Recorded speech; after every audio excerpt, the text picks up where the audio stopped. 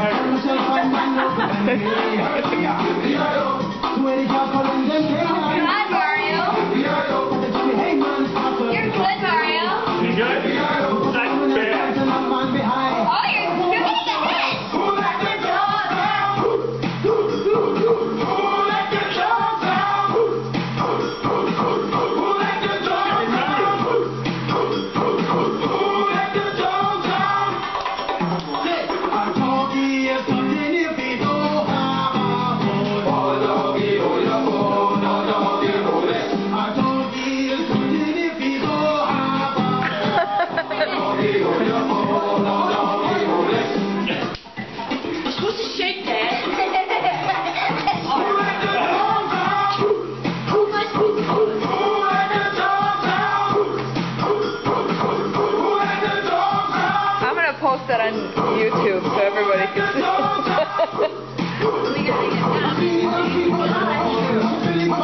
huh? Yeah, right.